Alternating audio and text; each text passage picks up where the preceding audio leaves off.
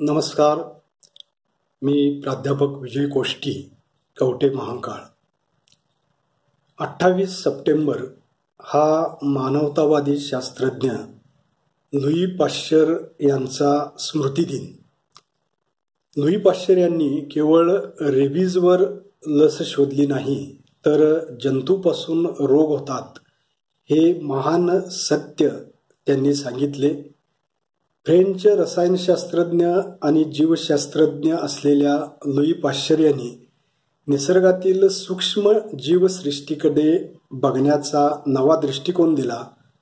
प्रथम कोंबड्या आणि त्यानंतर मानवासाठी अँथ्रॅक्स रेबीज कॉलरा गटसर्प क्षयदेवी यावर रोग प्रतिबंधक लसी तयार केल्या. लाखोंना जीवदान देणाऱ्या या वैज्ञानिकाच्या ऋणात राहणे हे मानवजातीचे कर्तव्य ठरेल. त्यांच्या स्मृतिदिनानिमित्त त्यांच्या कार्याचा घेतलेला थोडक्यात आढावा.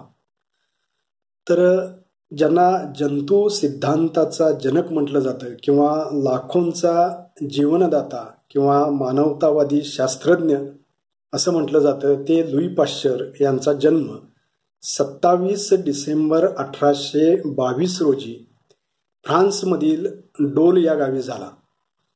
त्यांचा जन्म एका गरीब चर्मकार कुटुंबात झाला. पाश्चर यांना लहानपणी शिक्षणापेक्षा मासेमारी व चित्रकला यात विशेष रस होता. त्यांच्या वडिलांना आपल्या मुलाने खूप शिकावे आणि शाळेत शिक्षक व्हावे असं वाटत होतं. पित्याची इच्छा पूर्ण करण्यासाठी लोईंनी शिक्षक बनण्याची ट्रेनिंग कॉलेजची परीक्षा ही चांगल्या प्रकारे दिली पण शेवटी ते शिक्षक न बनता संशोधक बनले. तथापि महाविद्यालयीन जीवनात त्यांना रसायनशास्त्र विषयात अधिक रस होता. प्रसिद्ध रसायनशास्त्रज्ञ बेलॉर्ड यांनी आपल्या प्रयोगशाळेत लुईंना मदतनीस म्हणून घेतले. येथे त्यांच्या संशोधनाची सुरुवात झाली.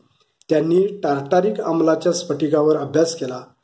पुढे त्यांनी या अंमलाच्या आंतररचनेवर सखोल संशोधन करून आण्विक विषमतेचे अस्तित्व शोधले जो आज स्टिरिओ केमिस्ट्रीचा पाया मानला जातो. इसवी सन अठराशे सत्तेचाळीसमध्ये डॉक्टरेट संपादन केल्यावर स्ट्रॉसबर्ग विद्यापीठात त्यांची रसायनशास्त्राचा प्राध्यापक म्हणून नियुक्ती झाली. पुढे अठराशे चोपन्नमध्ये लिली विद्यापीठात विज्ञान शाखेचे डीन म्हणून ते नियुक्त झाले.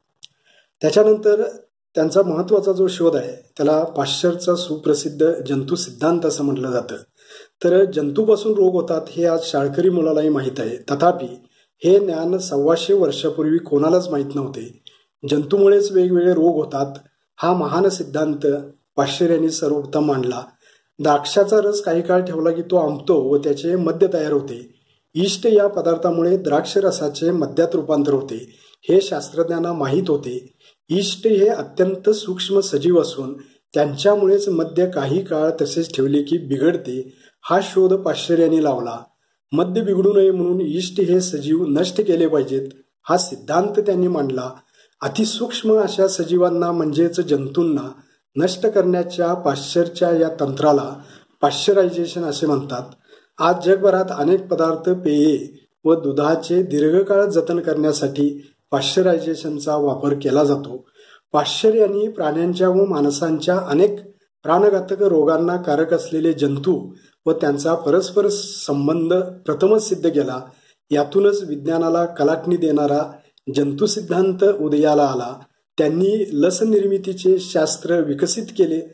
सर्वप्रथम कोंबड्या व नंतर माणसासाठी अँथ्रॅक्स रेबीज क्वालरा घटसर्प क्षय देवी यावर रोगप्रतिबंधक लसी तयार केल्या. इसवी सन अठराशे सत्त्याऐंशी मध्ये त्यांनी पाश्चर इन्स्टिट्यूटची स्थापना केली. अनेक रोगावरील उपचार व प्रतिबंधाच्या क्षेत्रात आजही पॅरिसमधील ही संस्था अव्वल दर्जाची मानली जाते. दरम्यान फ्रान्समध्ये अठराशे पासष्टच्या सुमारास रेशमाच्या किड्यावर रोगाची लागण होऊन संपूर्ण युरोपातील रेशीम उद्योगाचे मोठ्या प्रमाणावर नुकसान होऊ लागले होते. यावर पाश्चर यांनी अखेर अठराशे सदुसष्टमध्ये आळ्यांची दूषित झालेली अंडी नष्ट करून निरोगी अंड्यापासून आळ्या तयार करण्यात यश मिळवून रोगावर नियंत्रण मिळवले आणि रेशमाचा धंदा सावरला गेला जो फ्रान्समध्ये अतिशय जोमाने चालत असतो. त्याच्यानंतर त्यांचा आणखी एक महत्त्वाचा शोध म्हणजे श्वानदंश रोगावरील लस किंवा त्याला रेबीज म्हणतो आपण. पाश्चर्यांच्या सर्व शोधामध्ये त्यांचा श्वानदंश रोगावरची लस हा सर्वात मोठा गौरवशाली शोध समजला जातो. सहा जुलै अठराशे पंच्याऐंशी रोजी पिसाळलेले कुत्रे चावलेल्या जोसेफ नावाच्या मुलाला त्यांनी ही लस टोचली. वैद्यकीय इतिहासातील या रोगावरील हा पहिला प्रयोग होता. मुलगा वाचला आणि पाश्चरला या ठिकाणी यश मिळाले. पाश्चरच्या या नव्या शोधामुळे पिसाळलेली कुत्री चावलेल्या लाखो लोकांना जीवदान मिळू लागले. अखिल मानव जातीवर पाश्चरने हे महान उपकार करून ठेवले आहेत.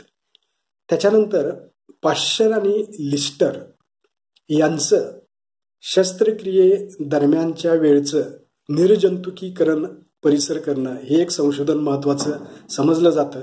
तर पाश्चरनं रेबीज या लोगावर लस शोधून काढली आणि लाखो प्राण वाचले. पण पाश्चर आणि लिस्टर यांच्या वैज्ञानिक मैत्रीमुळे सुरक्षित शस्त्रक्रिया विकसित झाली हे अल्पज्ञात आहे.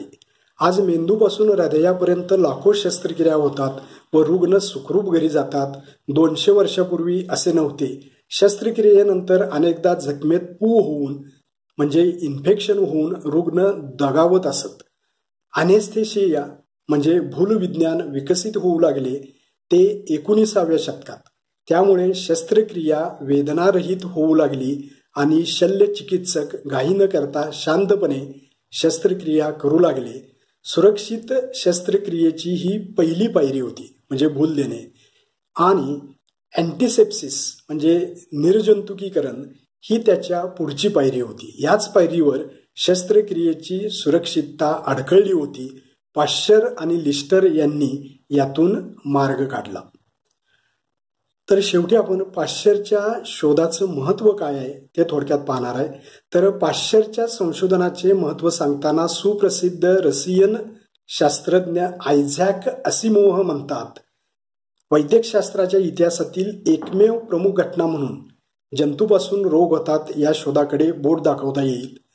जंतू सिद्धांत एकदा मान्य झाल्यावर रोगावर कराव्याच्या उपाययोजनामध्ये एक प्रकारे शास्त्रशुद्धता आली पिण्याचे पाणी उकळून किंवा रासायनिक द्रव्यांनी निर्जंतुक करण्यात येऊ लागले. मैला कचरा यांची विल्हेवाट लावण्याचे शास्त्रमान्य तंत्र तयार झाले.